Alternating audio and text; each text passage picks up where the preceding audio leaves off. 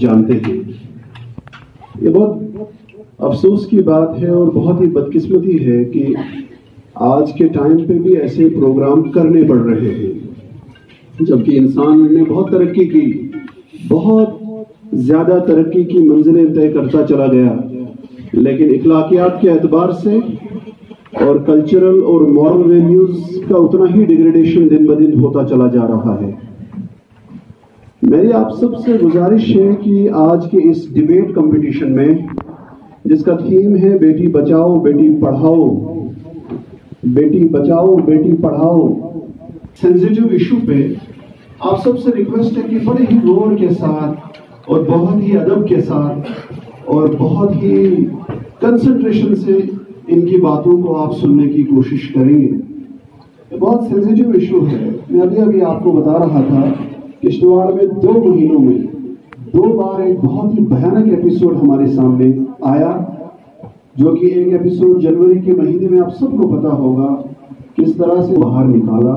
یہ کشتواڑ کے لیے ایک بہت ہی شرم کی بات تھی اور دوسرا ایپیسوڈ ابھی۔ ایسا ہی ہوتا دیکھنے میں اپنی کمیونٹی کی بات کروں گا کیونکہ میں اسی کو بلانگ کرتا ہوں۔ ٹھیک ہے؟ ایسا ہوتا ہے گراؤنڈ لیول کچھ اور ہے۔ گراؤنڈ سچویشن کچھ اور ہے، اس کو بدلا کیسے جائے؟ میں نے پہلے بھی ہمارا یہاں پہ ہوا تھا ڈیبیٹ سردیوں میں، جنوری کے مہینے میں فیصل سر نے کروایا تھا، جو نیشنل یوتھ پارلیمنٹ ہوا تھا۔ میں نے تب بھی کہا تھا، میری بہنوں، ایک ہی طریقہ بدلنے کا dates education.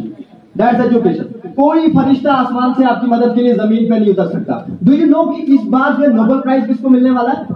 Any body here please Sweden سولہ سال کی بیٹی ہے وہ میری بہن ہے جن کو نوبل پرائز دنیا کا سب سے بڑا انعام کے لیے جو ہے منتخب کیا جا رہا ہے۔ کیوں کیا جا رہا ہے؟ ملالا یوسف کو جانتے ہیں آپ؟ نام سنا ہے۔ ڈاکٹر عافیہ صدیقی کا نام سنا آپ نے۔ کون ہے یہ لوگ؟ کہاں سے آئے یہ لوگ؟ دیکھیں، راحت اندوری کہتے ہیں، ڈاکٹر راحت اندوری کا ایک شعر ہے کہ روایتوں کی سفید توڑ کر بڑھو ورنہ۔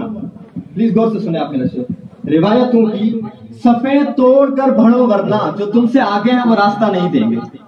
جو آپ سے آگے ہے نا، وہ راستہ تب دیں گے اپنے روایتوں کی صفوں کو توڑ کے آگے بڑھنا ہے۔ اور اس پہ جگر مراد آبادی کا ایک شعر ہے، ایک بہت بڑے شاعر ہے میں انہی باتوں کے ساتھ جو ہے آپ سے رخصت ہو جاؤں گا۔ ان کا ایک شعر ہے کہ اپنی دنیا آپ بناتے ہیں اہل دل۔ اپنی دنیا آپ بناتے ہیں اہل دل۔ ہم وہ نہیں ہیں جن کو زمانہ بنا گیا۔